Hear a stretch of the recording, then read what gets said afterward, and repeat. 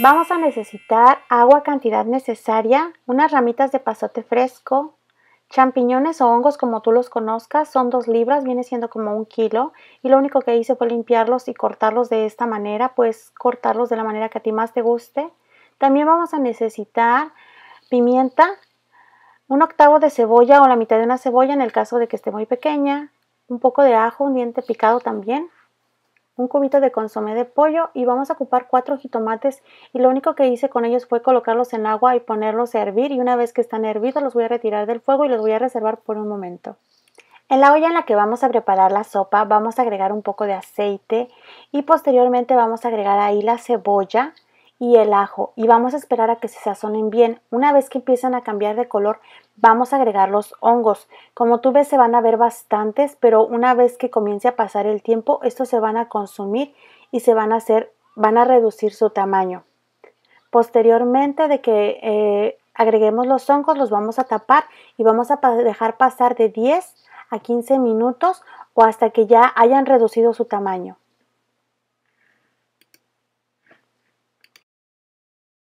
Pasados los 15 minutos, cuando ya reducen su tamaño, vamos a agregar un poco de pimienta. Posteriormente vamos a llevar los jitomates a la licuadora y los vamos a licuar hasta que estén perfectamente licuados.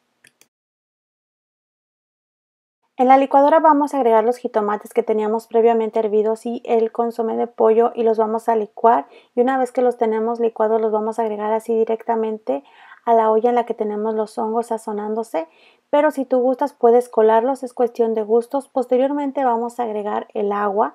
También aquí va a variar un poco ya que vas a agregar el agua dependiendo de lo caldoso que a ti te guste. A mí me gusta un poco caldoso, así que voy a agregar 2 litros de agua, pero es cuestión de gustos. Posteriormente vamos a probar y si fuese necesario vamos a agregar sal. En el caso de mi sopa, a mí sí me parece que le falta un poco de sal, es por eso que agregué un poco más ya para que hierva y vamos a dejarla hervir por alrededor de 15 a 20 minutos a fuego mediano y vamos a regresar para ver el resultado. No te olvides de colocar las hojitas de epazote para que le den un muy buen sabor.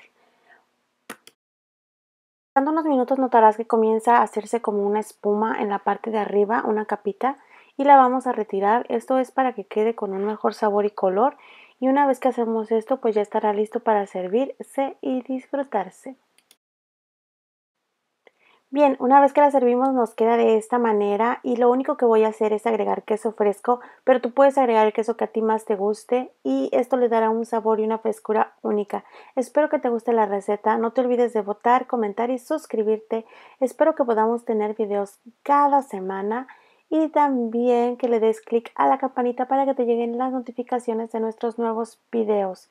Recuerda que si crees en ti todo será posible. Nos vemos muy pronto en un próximo tutorial que yo espero que sea muy muy pronto. Adiós.